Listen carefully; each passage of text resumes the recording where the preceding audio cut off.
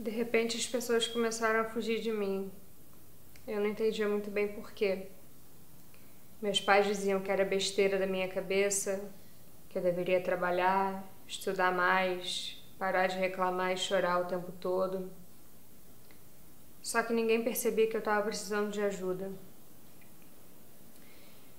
Mas eu também não me sentia à vontade com eles para desabafar.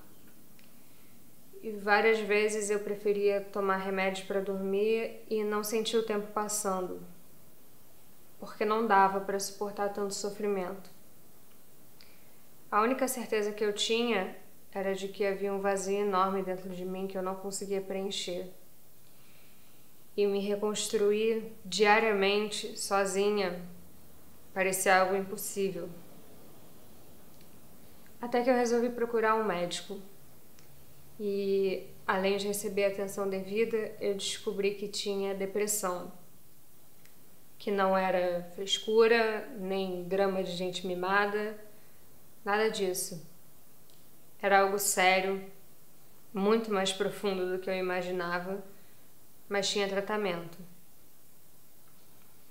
E graças a algumas pessoas dessa organização e ajuda médica, eu consegui recuperar a minha vida. Por isso eu vim aqui hoje me cadastrar para uma entrevista. Eu quero me tornar uma voluntária e ajudar alguém que precise, assim como fizeram comigo.